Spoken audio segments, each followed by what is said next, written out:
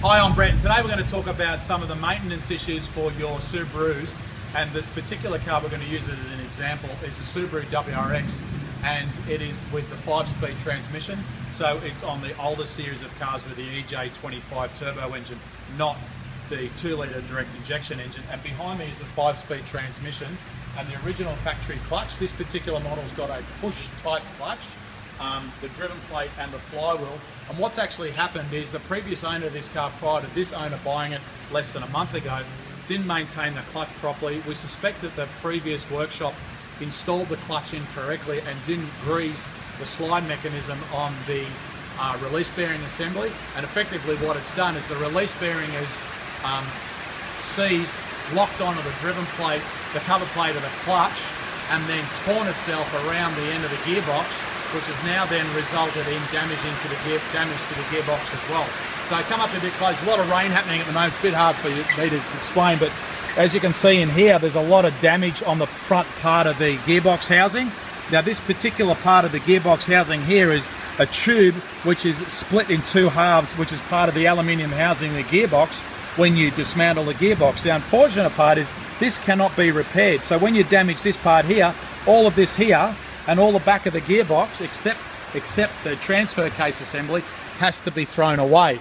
And the reason is this is what's left of the release bearing that is supposed to slide. And what it should look like is that. Now that particular part there fits in behind the clutch fork and slides up and down on that assembly there with a light amount of grease. And then that is what pushes on the fingers of the cover plate to disengage it from the driven plate of the clutch, which in turn is the friction material that works on the flywheel. Because remember, this part is connected to the crankshaft of the engine, and this part here, through the drive in the centre, is what's connected to the input shaft on the gearbox. Because effectively, when you put your gearbox together, that is what's connected to the friction part of the flywheel and the cover plate, which connects the engine together as you put your foot on and off the clutch. Unfortunately, what's happened is because this has been so poorly maintained, it's now not only does it need a new clutch assembly, but this particular owner is now having to get us to pull all the components out of the back inside of the gearbox and supply two new gearbox halves to put it back together purely for one reason only, and that is to repair the damage that has been done to this. Now, we did a, a also a similar repair to a clutch and a gearbox assembly two weeks ago, it wasn't as bad as this. The release bearing hadn't torn around the driven plate and scoured the nose of the clutch uh, gearbox assembly. But what had actually happened is because there's no grease on that slide mechanism going in and out, the actual release bearing actually had worn down the aluminium, even though this on the models is not cast iron like the earlier models. This part here is sacrificial, but it's got grease in it. It still has some wearing effect on the aluminium part of the housing that it slides on. So um, even if you run out of grease, what can effectively happen is that mechanism moving in and out every time you put your foot on the clutch, remembering that's going in and out all the time, wears it down and then it causes a squeaky, sticky noise sometimes.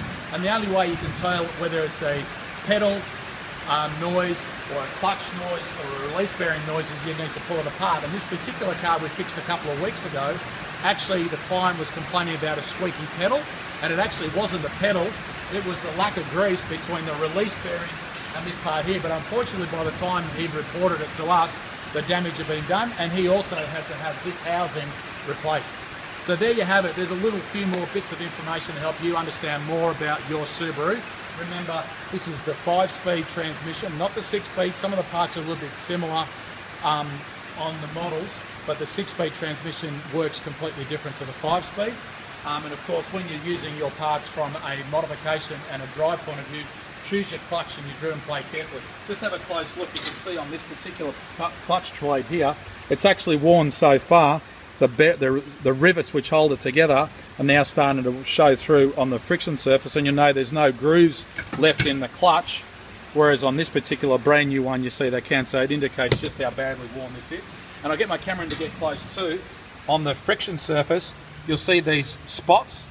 It's not as bad as what I've seen on other cars, but these spots, which are heat spots, are caused by loading up the clutch too much or effectively putting too much heat. And the cover plate is very similar as well, although again, it's not as bad as what we've seen on other models. So there you have it. Hopefully this has helped you learn a little bit more about your Subaru. Of course, you know where to contact us. Facebook, YouTube, Twitter and Instagram. Send us an email, give us a call. We're here in Sydney, Australia, but wherever you are for you in the world. Hopefully this information has helped you learn and understand more about your Subaru. Thanks for watching.